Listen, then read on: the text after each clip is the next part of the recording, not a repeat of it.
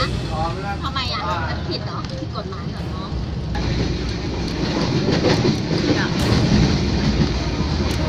ไม่แล้วน้ามาถามหนูทำไมคะอ้าวแล้วก็มามองหน้าหนูด้วยอะทำไมมันผิดกฎหมายตรงไหนเหรอก็ไม่เห็นผิดอะไร ก็แค่อยากรู้ค่ะว่ามองทำไมอะแล้วถ่ายทำไมด้วยไม่ค่ะเห็นเป็นไรนี่แล้วก็ได้ค่ะงั้นก็ถ่ายด้วยเออก็ถ่ายสิพี่ป้าก็ไม่ได้ว่าอะไรหนูนี่ เออ ก็ถ่ายเลยจ้ามันไม่ได้ผิดกฎหมายนี่คะ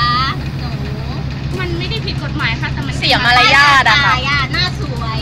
มีอะไรหรือเปล่า โรคจิตเหรอคะ น้องอะเด็กน้ามากกว่าละมั้งคะโรคจิตอะ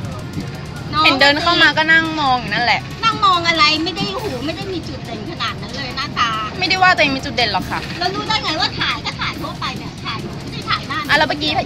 ยกถ่ายหนูทำไมอะคะ เอ้ามีหลักฐานเหรออันอะไหน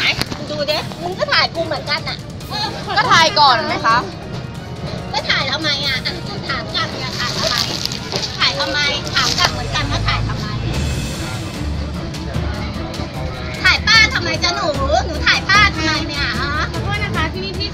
ค่ะ อ้าวก็หนูถามป้าว่าถ่ายหนูทำไมน่ะป้าถามแล้วป้าถ่ายหนูก่อนทำไมอะคะขอโทษเอนะคะอคือก่อนที่ป้าจะถ่ายเพื่อนหนูอะป้าก็ถ่ายคนอื่นด้วย อ้าวก็ไม่เห็นเป็นไรเลยอะก็ถ่ายทุกวันอะมันผิดตรงไหนเหรอ ถ่ายทุกวันเลย แล้วเมื่อกี้ถ่ายกระโปรงทำไมคะ ถ่ายอะไร